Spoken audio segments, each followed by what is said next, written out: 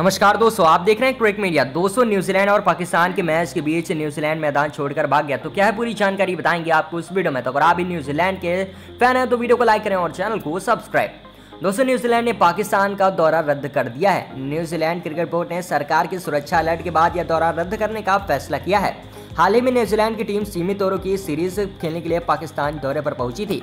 यह फैसला पहले वनडे मैच खेले जाने से कुछ ही घंटे पहले लिया गया था।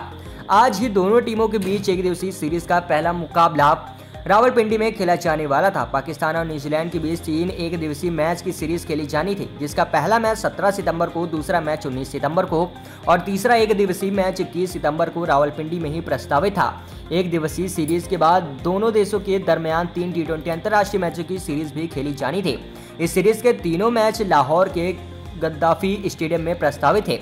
लेकिन दौरा रद्द होने के साथ ही इन मैचों को खेलने जाने की संभावना भी समाप्त हो गई। न्यूजीलैंड के टीम के लंबे अंतराल के बाद पाकिस्तान क्रिकेट सीरीज़ खेलने आई थी।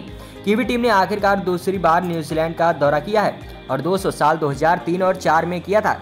इस तरह न्यूजीलैंड करीब 18 साल बाद पाकिस्तान के खिलाफ उसकी सरजमी पर श्रीलंका, जो कि श्रृंखला खेलने आया था तब उस सीरीज़ में पाकिस्तान ने कीवी टीम को पाँच शून्य से हराया था।